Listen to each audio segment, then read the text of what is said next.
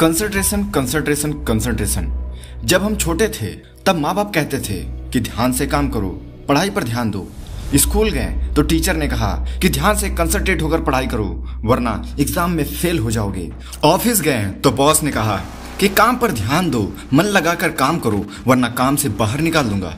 और तो और, मन को शांत और चिंता को दूर करने के लिए डॉक्टर ब्रेन बूस्टर के पास आया। यानी मेरे पास आए तो मैं भी यही कहने लगा कि अपने अवचेतन मन की शक्ति, आत्मशक्ति और स्पिरिचुअल पावर को बढ़ाने के लिए ध्यान करो। सांसों पर ध्यान दो, आज्ञा चक्र पर कंसंट्रेट करो।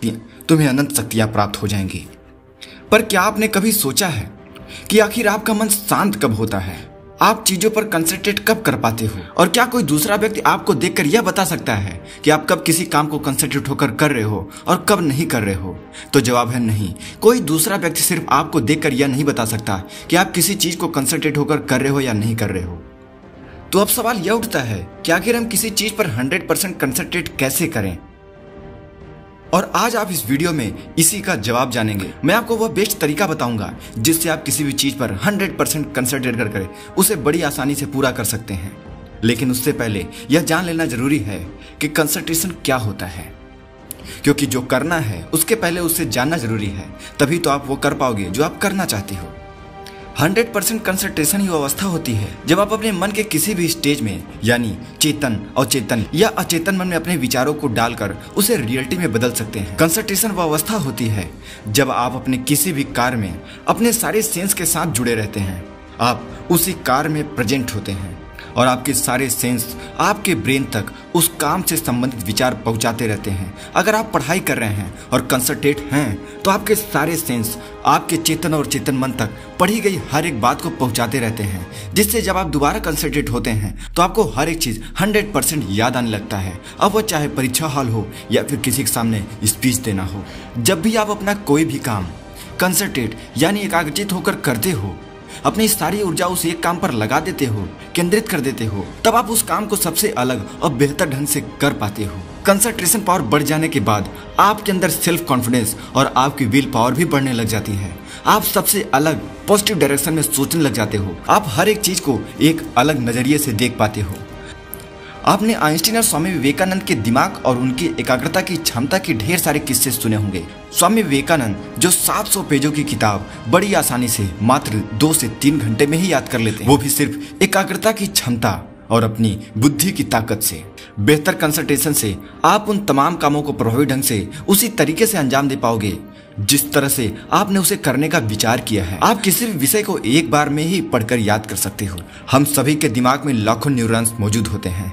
जब भी आपके दिमाग में कोई भी विचार आता है, तब एक एक न्यूरॉन्स तक सिग्नल पहुँचने लग जाता है। और जैसे जैसे आपके मन में और भी विचार आते जाते हैं अलग अलग विचारों के न्यूरॉन्स एक्टिव हो जाते हैं और आपका ध्यान भटकने लग जाता है। ज़्यादातर लोगों के साथ ऐसा होता है कि जब भी वह किसी काम को करते हैं या पढ़ाई करते हैं तो तो उनके दिमाग में उस काम से अलग विचार आने लग जाते हैं। जैसे अगर आप पढ़ाई करने जा रहे हो और पढ़ाई के बीच में अगर मोबाइल का ज़िक्र आया तो आपका पूरा दिमाग मोबाइल की तरफ़ जाने लगता है, जिससे आप पढ़ाई या अपने उस काम पर कंसंट्रेट नहीं कर पाते हो और वह अधूरा ही रह जाता है।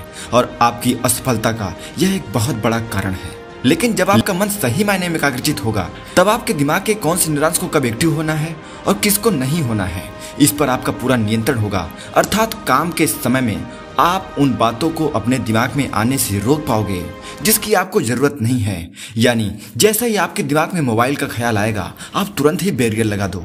जब भी आप कंसंट्रेट रहोगे तो आपके दिमाग में ऐसे विचार जैसे ही आएँगे, आप तुरंत अलर्ट हो जाओगे और ऐसे विचारों को तुरंत रोककर, तुरंत अपने विषय पर आ जाओगे। और इस तरीके की लगातार प्रैक्टिस से आप धीरे धीरे एक समय ऐसा आएगा जब आपको कोई बैरियर लगाने की ज़रूरत नहीं पड़ेगी। आपका दिमाग, आपका अवचेतन मन स्वतः ही आपके दिमाग में बैरियर लगाएगा। आप पढ़ाई करोगे, सिर्फ़ पढ़ाई करते रहोगे। आप किसी चीज़ के बारे में सोचोगे तो सिर्फ़ उसी ही चीज़ के बारे में विचार आपके दिमाग में आएगा, बाकी कोई नहीं। ऐसा सिर्फ़ डीप कंसल्टेशन की अवस्था में होता है। डीप कंसल्टेशन की एक अवस्था यह भी होती है कि यदि आप पढ़ाई करते समय कंसल्टेशन की डीप अवस्था में चले जाते हो तो आपको बुक में लिखे शब्दों के अलावा कोई भी चीज़ सुनाई या दिखाई नहीं देती है। जैसे, जब आप कोई मूवी देखते हो, तब आप पूरी तरीके से उस मूवी के सीन से जुड़े रहते हो। इसीलिए मूवी देखते समय आपको डर आपकी आँखों में आँसू भावना उत्पन्न होने लगती है। ऐसे ही जब आप अपने फेवरेट गाने सुनते हो तो भी आप एक कंसंट्रेशन की अवस्था में आते हो। अगर आप फोकस यानी कंसंट्रेशन पावर को बढ़ाना चाहते हो तो आपको कुछ बातों का विशेष ध्यान देना पड़ेगा। और उसके साथ साथ मैं जो आपको टेक्निक बताने जा रहा हूँ, उसका इस्तेमाल करना पड़ेगा। आपको कुछ ही दिनों में एक बेहतरीन रिज़ल्ट मिलने लगेगा। किसी भी व्यक्ति के पास ऐसी कोई भी तकनीक नहीं है जिसे आप उपयोग करो और उसी दिन से ही आपकी कंसंट्रेशन पावर बढ़ जाए। ऐसा नहीं हो सकता। कंसंट्रेशन एक हैबिट है, जिसे आपको लगातार प्रैक्टिस के ज़रिए ही अपने अंदर विकसित करना पड़ेगा। लेकिन अगर हम थोड़ी सी जागरूकता के साथ कुछ अभ्यास करें तो कुछ ही दिनों में आपके अंदर एक चमत्कारी परिणाम देखने को मिलने लगेगा। मैं ऐसा क्यों कह रहा हूँ? क्योंकि कंसंट्रेशन आपकी स्वाभाविक आदत है। कंसंट्रेशन की डीप अवस्था एक छोटे बच्चे के अंदर दिखाई देती है और इसका प्रमाण उसकी आँखें उसकी दिनचर्या उसका हसमुख चेहरा बताता है। लेकिन जैसे जैसे बच्चा बड़ा होता जाता है उसके सामने अलग अलग तरीके के डिस्ट्रक्शन आने लगते हैं और उसका दिमाग उन सब चीज़ों के लिए हैबिचुअल हो जाता है। उसका अवचेतन मन उन सभी कामों के लिए आदि हो जाता है। लेकिन अगर आप कुछ आदतें अपने जीवन में अपनाने लग जाएँ, तो आप पुनः ही वही कंसल्टेशन अवस्था पा सकते हैं जो एक छोटे से बालक के अंदर होती है। चीज़ों को जल्दी याद करने चीज़ों को जल्दी समझने की आदत। अपनी कंसंट्रेशन पावर बढ़ाने के लिए सबसे पहले आपको जो करना है, वो है प्रेजेंट में रहने की आदत।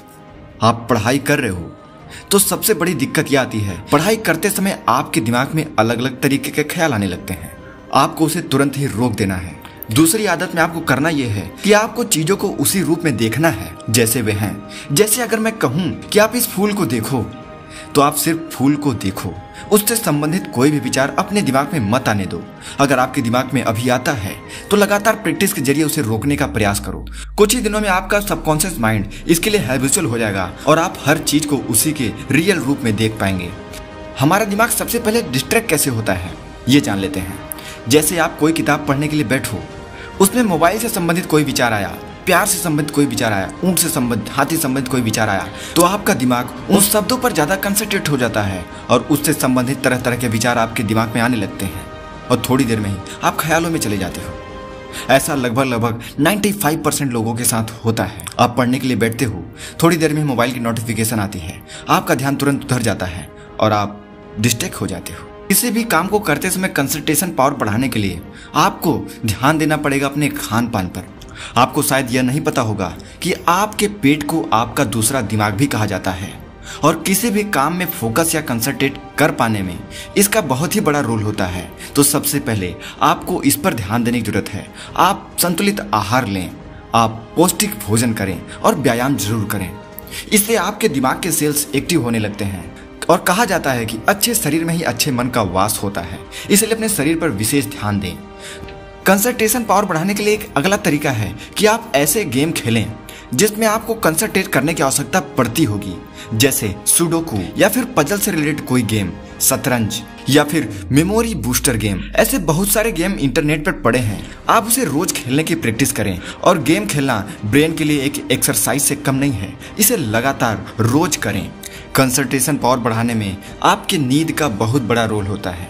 इसलिए हमेशा पूरी और अच्छी नींद लें। अच्छी नींद कैसे लेनी है?